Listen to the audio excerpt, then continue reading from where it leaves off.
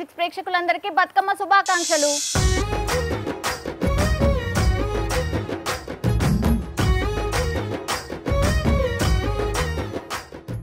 చూస్తుంటే చూస్తుంటే ఐదు రోజులు అయిపోయింది తెలుసా బతుకమ్మ? అయ్యో అప్పుడే అయిపోతుందా అన్న ఫీలింగ్ ఒకవైపు? ఏ ఈ రోజు అయితే ఉంది కదా అన్న జోష్తోని అట్లనే ఆడుతూనే ఉన్నాం. సరే ఎంతమంది ఆడపడుచులు ఉన్నారు కదా? ఈరోజు ఐదో రోజు బతుకమ్మ. సో ఈ రోజు స్పెషాలిటీ ఏంది?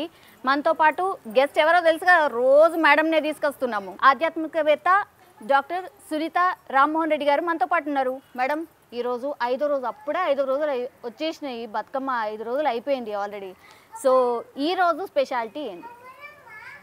ఈరోజు ఐదో రోజు బతుకమ్మ అన్నాం. ఐదో రోజు బతుకమ్మ అంటే ప్రత్యేకంగా నైవేద్యం ఏం పెడతాము అన్న దాని మీదనే మన ప్రత్యేకత కనబడ్డది కాబట్టి ఈరోజు బతుకమ్మని అట్ల బతుకమ్మ అంటారు. ఇది మనకు స్పెషాలిటీ. ఇది కాదు అంటే ఐదు రోజులు అనగానే ఐదు అనేటువంటి సంఖ్య. పంచోపశారిణి అనేసి మనం అమ్మవారిని లలిత అమ్మవారిని ఎప్పుడు కూడా కొలుస్తూ ఉన్నప్పుడు అమ్మని పంచసంఖ్యతో పోలుస్తాం. అసలు ఈ పంచసంఖ్యకి మానవులకి ఏమైనా సంబంధం ఉందా అంటే చాలా అనుబంధము ఉంది. పంచభూతాత్మకమైనటువంటి ఈ శరీరం పంచభూతాల్లో ఉంటూ పంచ తన్మాత్రలు కలిగినటువంటిది. వీటన్నింటితో పాటు మనస్సు అనేటువంటి ఓ శక్తి ఉంది కాబట్టి అన్నింటినీ సమన్వయపరిచేయడం అన్నది ఉండదు కాబట్టి పంచసంఖ్య అన్నది చాలా గొప్పది. అందుకే దేవతామూర్తులను ఎవరిని ఆరాధించినా చిట్టు చివరికి పంచోపచారాలు చేయండి చాలు అంటారు. దీపం ధూపం నైవేద్యం పుష్పం గంధం అని. అంటే ఈ పంచోపచారాలు పంచసంఖ్య ఏదైతే ఉందో ఆ సంఖ్య రోజు మనం అమ్మవారిని పూజించేటప్పుడు ఇక్కడ ఈ ఐదో రోజు బతుకమ్మగా మనం దీన్ని అట్ల బతుకమ్మ అన్నాం. అట్లు అంటే తెలిసిందే కదా? అట్లు. అదే. ఇప్పుడు మేడం మనము పూజ అనగానే ఇప్పుడు పంచభూతాలు అనగానే పూలు కూడా ఉంటాయి కదా? సో ఈ పూలని మళ్ళీ మనం నిమజ్జనం చేసేస్తున్నాం. సి పూజకు వాడట్లేదు మనము. వీటిని నిమజ్జనం చేస్తున్నాం. మరి అదేంటిది? పూజకి ఎందుకు వాడట్లేదు ఇక్కడ మనం ఏదైనా దేవతామూర్తిని పూజించేటప్పుడు పూజకు పువ్వులు వేస్తూ మనం పూజ చేయడం ఒక రకం. ఇక్కడ ఏం చేస్తున్నాం? ఈ పూలనే పూజించవలసినటువంటి అవతారంగా ఒక రూపంగా చేస్తున్నాం కాబట్టి ఈ పూజను పూలను పూజిస్తున్నట్టే. ప్రతి పువ్వు పూజలో ఉపయోగపడుతున్నట్టే. ప్రతి పువ్వు అమ్మవారి రూపంలో ఒక భాగంగా సమకూరుతుంది. ఈ భాగంగా సమకూరుతుంది కాబట్టి పూలన్నీ పూజిస్తున్నాం. పూజిస్తున్నటువంటి ఈ పూలను మళ్ళీ మనం నిమజ్జనానికి తీసుకువెళ్తున్నాం అన్నదే మనకి ఈ పూజలో. అంటే ఈ పూజలో ఎలా అంటే మనం అక్కడ కూర్చోబెట్టి దేవతామూర్తుల్ని పూజించినట్టు పసుపు కుంకుమలు వేస్తూ పూజించడం కాకుండా మనకి ఎంతసేపు కూడా ఆటపాటలతో చేసేటువంటి ఈ అర్చన ఏదైతే ఉందో గలార్చన ఆ అర్చనే ఇక్కడ బతుకమ్మలో ప్రత్యేకత కనబడుతుంది తల్లి. ఇప్పుడు మనము ఐదు రోజులు బతుకమ్మను ఆడినాం కదా. ఆ తర్వాత నెక్స్ట్ నైవేద్యాలు పెట్టడము అవన్నీ చేస్తూ ఉంటాము. అయితే ఇది ప్రకృతిని ఒక రకంగా పూజించడమే అని కూడా చెప్పుకుంటున్నాం. సో ప్రకృతికి అండ్ అట్లాగే బతుకమ్మకు ఉన్నటువంటి సంబంధం ఏంటిది? ఎందుకంటే వీటిని పోరాటాలలో కూడా మనం బతుకమ్మ తీసుకొని పోరాటాలు చేసిన సందర్భం కూడా ఉన్నది. తెలంగాణ ఉద్యమంలో బతుకమ్మను కూడా మనం తీసుకుపోతుంది బోనాలు కూడా తీసుకుపోతుంది అట్లా పోరాటం కూడా చేస్తాం కదా? ఎప్పుడు కూడా ఏ పోరాటం చేసినా ఏది చేసినా చూడండి అమ్మ ఇంట్లో చిన్నపిల్లలే ఉన్నారనుకో అలుగుతే ఏం చేస్తారు? అన్నం తినరు. అన్నం లేకపోతే ఇంకే తిండి తినరు. అంటే ఏంటి? వాళ్ళకి ఇష్టమైంది వదిలేయడం. అలాగే ఈ పోరాటంలో కూడా వాళ్ళు ఏ రకంగా వదిలించ మీరు ఒక మాట అడిగారు. పోరాటంలో ఎక్కడెక్కడ అమ్మ కనబడింది బతుకమ్మ అనేది. నిజం చెప్పాలంటే మనకి పూర్తిగా స్వాతంత్రం రాకముందు మనం ఎక్కడైతే ఈ సాయుధ పోరాటాలు ఇవన్నీ చెప్తూ ఉన్నామో నిజాం నిరంతరము ఆయన నిరంకుశత్వం కనబడేటువంటి సమయంలో మనకి బతుకమ్మ ఒక ప్రత్యేకంగా కనబడేది. ఎందుకంటే ఇక్కడ ఉన్నటువంటి ఈ ప్రాంతపు ప్రజలకి బతుకమ్మ అంటే ప్రాణం. వాళ్ళు తప్పనిసరిగా ఆడుకోవడానికి వెళ్తారు. అలాంటి స్థితిని వాళ్ళు ఉద్దేశపూర్వకంగా మాన్పించడం కోసం చాలా దుర్మార్గమైనటువంటి పని చేశారు అన్నది మనం ఆ నిజాం దురంతరాల్లో తెలుస్తుందమ్మా. ఎలా అంటే నువ్వు ఆడడానికి వెళితే కూడా వివస్త్రలుగా చేసినటువంటి పరిస్థితి మనం ఆ దుర్మార్గుల నుండి చూసాం. అంతే ఈ ఇష్టమైన దాన్ని వాళ్ళు వదులుకోవాలని మీ కాన్సెప్ట్ ఏంటి అక్కడ అంటే నీ సంస్కృతిని నువ్వు వదిలింప చేయాలి. నిన్ను ఎలాగన్నా అయితే మతం మార్చుకోమన్నారు. ఆ ఆరో నిజాం కాసిం దగ్గరికి వచ్చేసరికి కాసిం రజవి రజవి దగ్గరకు ఇక్కడికి వచ్చేసరికి ఏంటంటే ఎలాగైనా సరే ఈ సంస్కృతిని నశింప చేయాలి ఈ సంస్కృతి లేకుండా ఉంచాలి. మతాలన్నీ కూడా విద్ విధర్మీయుల చేతుల్లోగా వీళ్ళు కీలుబొమ్మలాగా మారాలి అనే ఉద్దేశంతో చేసినటువంటి ఆ ఉద్దేశంలో బతుకమ్మ ఇక్కడి ప్రాంతంలో ఉన్నటువంటి వాళ్ళకి ఎప్పుడు కూడా సజీ సజీవంగా ఒక రకమైనటువంటి చైతన్యాన్ని ఇచ్చేటువంటి ఓ ఆట పాట ఈ ఆటని ఆడుకోకుండా చేయడం కోసం వాళ్ళు చేసినటువంటి ఒక దుశ్చర్యలోనే మీరు ఆడుతారా అన్నట్టుగా వాళ్ళని ఆ రకంగా ఇబ్బంది పెట్టేసరికి తర్వాతి కాలంలో వాళ్ళు ఆడకుండా చేసేటువంటి పరిస్థితి వచ్చింది. అందువల్ల మీరన్న ఉద్యమాల్లో బతుకమ్మ తర్వాత కనబడింది. ఓహో మీరు ఆనాటి కాలంలో మమ్మల్ని వద్దన్నారు కదా మేము ఈ బతుకమ్మ తోటికే ముందెళ్తాము. మా తెలంగాణ మాకు ప్రత్యేకంగా కావాలన్న రోజైనా కానీ ఇంకే ఉద్యమం చేపట్టాలన్నా ఇంకే పండగ చేయాలన్నా ఏది చేయాలన్నా ఈ మధ్య కాలంలోనైతే బతుకమ్మ పండుగే కాకుండా ఏ శుభకార్యం వచ్చినా ముందు బతుకమ్మలు బోనాలు కనబడుతున్నాయి. ఏది ప్రత్యేక రాష్ట్రం వచ్చిన దగ్గర నుండి. దానికి కారణం ఏంటి అంటే ఇది ఇక్కడి ప్రాంతంలోని ప్రత్యేకమైన పండుగ ఇక్కడి ఇష్టమైన పండగ ఇక్కడి సంస్కృతిలో భాగం భాగమైన పండగ కాబట్టి మనం తప్పనిసరిగా దీన్ని మళ్ళీ అందరికీ చూపెట్టాలి అనేటువంటి ఒక భావనతో ఇది ముందుకు వచ్చిందమ్మా. ఇప్పుడు బతుకమ్మ బతుకునిచ్చే అమ్మ అని అనుకుంటూ ఉంటాం కదా మేడం. అయితే బతుకమ్మ గురించి రకరకాల స్టోరీస్ చెప్తారు. అసలు ఏది కరెక్ట్? ఎన్నంటే అన్ని చెప్తూ ఉంటారు తెలుసా? ఎవరు దోచింది వాళ్ళు చెప్తూ ఉంటారు. ఏది కరెక్ట్? ఏ స్టోరీ కరెక్ట్? అమ్మ అన్ని స్టోరీలు నువ్వు చెప్పిన విధంగా అడిగితే ప్రతి స్టోరీ దాని వెనకాతల చారిత్రక నేపథ్యం అనేది అన్ని చెప్పు ఉంటాయి. అయితే ఒక్కొక్కరికి కొన్ని పాట రూపంలో కట్టుకున్నారు కొన్ని కథల రూపంలో చెప్పుకున్నారు. కొన్ని సగం సగంగానే జానపదుల్లో వినబడ్డాయి. ఏ రకంగా చెప్పినా మనకు ఒక ఐదారు రకాలైనటువంటి కథనాలు మాత్రం కనిపిస్తాయి. ఒకటి వేమనవాడలో చెప్పుకునే కథ ఒకటి ముఖ్యంగా రాజుల పరిపాలన. అదే దానికి అనుబంధమైనటువంటి చోళుల కాలం నాటి కథనే మనకు ధర్మాంగుడి యొక్క కథ. ఆ ధర్మాంగరాజు యొక్క సిద్ధాంతం ప్రకారం ఏదైతే మనకు వేములవాడలో కనిపించేటువంటి పరంపరలో భాగంగానే ఈ ధర్మాంగుడు ఆయన జీవితము పిల్లలు చనిపోవడము యుద్ధంలో ఆ తర్వాతి కాలంలో మరి కావాలి సంతానం లేకుండా ఇంత నిర్వీర్యంగా ఉన్నాం కాబట్టి మాకు ఏది అక్కర్లేదు అని సన్యాసంలాగా వెళ్ళిపోయి తపస్సు చేసుకునేటువంటి సమయంలో వాళ్ళకి అమ్మవారు ప్రత్యక్షం అవ్వడం ఒక అభయం ఇవ్వడం ఆ అభయం మూలంగా పుట్టినటువంటి ఆడపిల్ల సరే రాజుగారు ఇంత తపస్సు చేస్తే వచ్చినటువంటి అమ్మాయి కనుక దేవతలందరూ ఋషులందరూ కూడా అమ్మా నువ్వు చిరకాలం బ్రతుకు. ఎందుకంటే అంతకుముందు పుట్టిన పితృ పిల్లలందరూ చనిపోయారు కాబట్టి ఈ అమ్మాయిని బ్రతుకమ్మ అని పిలిచారంట. అలాగా బ్రతుకమ్మ అని అందరు దీవించారు కాబట్టి బ్రతుకమ్మ అయిందని ఒక కథనం మనకు వినబడుతుంది. ఇంకా ఏం కథలు చెప్తూ ఇంకేం లేదమ్మా ఇప్పుడు ఏ వేములవాడలో ఉన్నటువంటి తల్లి బృహత్తేశ్వరి ఉంది కదా ఆ బృహతమ్మే ఈ బ్రతుకమ్మ అంటే జానపదులు ఏదైనా సరే ఒక శిష్టాచారంలో ఉన్న ఒక పదము ఆ గ్రాంధికంగా ఉన్న పదము మాండలికంలోకి వచ్చేసరికి అది మారుతూ ఉంటుంది రూపాంతరం చెందుతుంది. ఆ బృహతమ్మే ఈ బ్రతుకమ్మ అని కొంతమంది నమ్మకం. ఇది రెండు.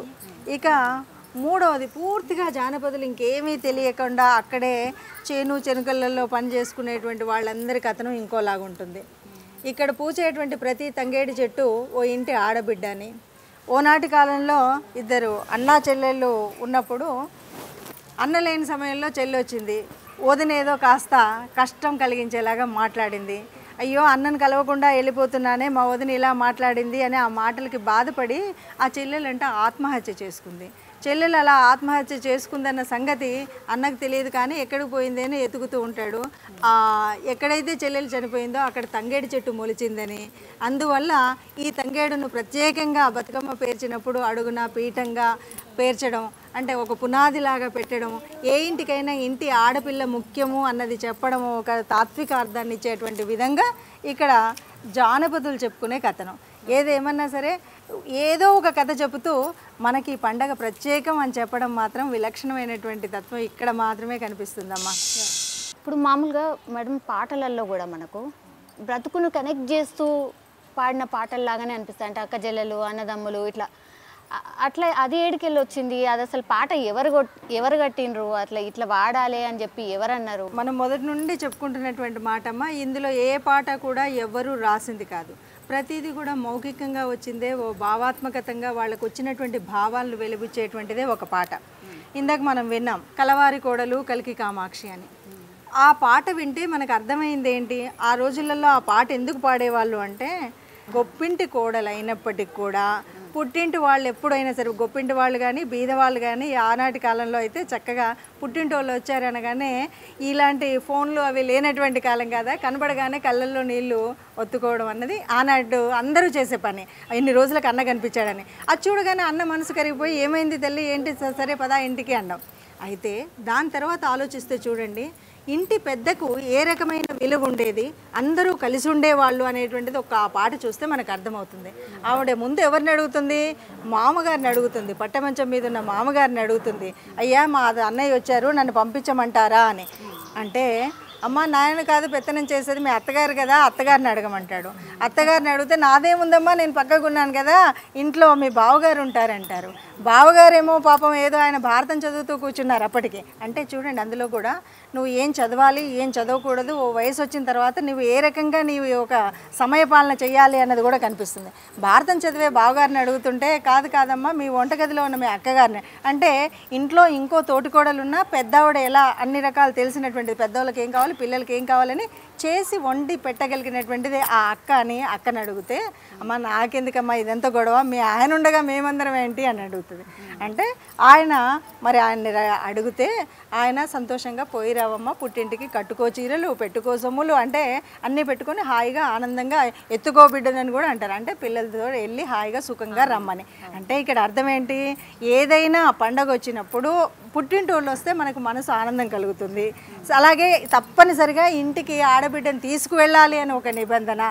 చక్కగా ప్రేమ అనురాగాలు కలిసి ఉన్న ఆప్యాయతలు కనబడడం ఈ పండగలో.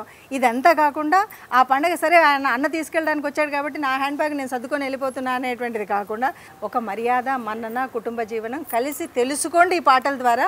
ఎవరైతే ఆడుతున్నారో ఆ పిల్లలందరూ కూడా ఆనాటి వైభవోపేతమైనటువంటి జీవితాన్ని ఈరోజు మీరు కూడా గడపండి. పెద్దలకు మర్యాద ఇవ్వండి అని చెప్పేటువంటి పాట మ- ఇంత అర్థం ఉంటుంది ఇది. సరే ఇప్పుడు బతుకమ్మ అయితే రెడీ అయిపోయింది కదా మేడం ఇక గౌరవం అయ్యేద్దాము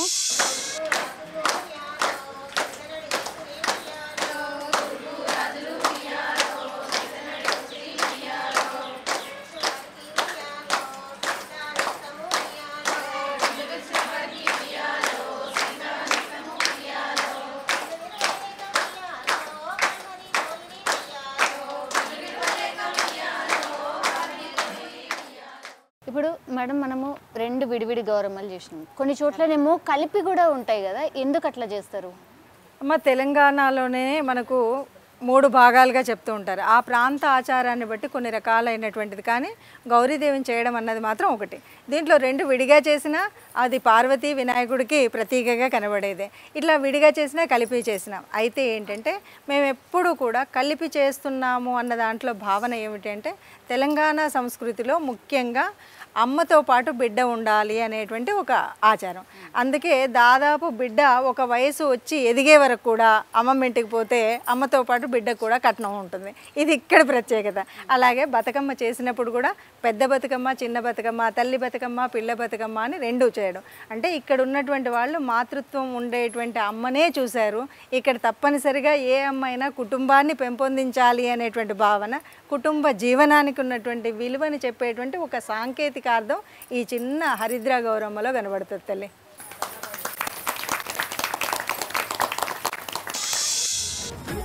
గోపురాల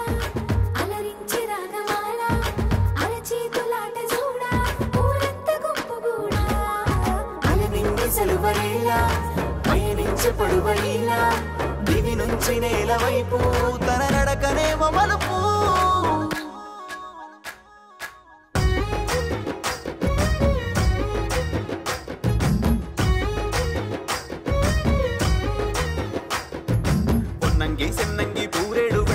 వల్లంకి తీతూక కొరవంక రంగు పిట్టాలెన్నో రాశిగా వచ్చిన పాల పిట్టాక ఈ పల్లె పప్పతి పట్టే సేమంతి పూవంతి కామంచి రుద్రాక్ష గురువింద గురువులు అరవిందాలు. గంధాలు ముప్పెట్టి అందాల పూలున్న తంగేడు పూలే ఈ బతుకమ్మంట.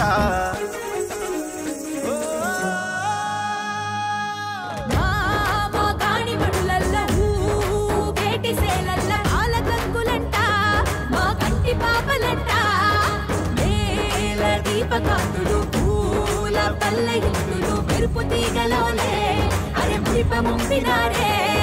నేల నిండుగా పూల పండుగ నీలి కొండకే మెరుపులద్దెనే పూల పల్లకి మేన నెక్కి గౌరమ్మ చెరుకులో కొలుపు తీరనే. పూల వెలుగు నేల కాసి పగలాయే ఐదు రోజుల బతుకమ్మ గురించి రోజు ఒక విశిష్టత గురించి తెలుసుకున్నాం. ఈ రోజు ఐదో రోజు బతుకమ్మ గురించి కూడా తెలుసుకున్నాం. రేపు అలిగిన బతుకమ్మ గురించి తెలుసుకుందాం. అంతవరకు సెలవు. నమస్కారం.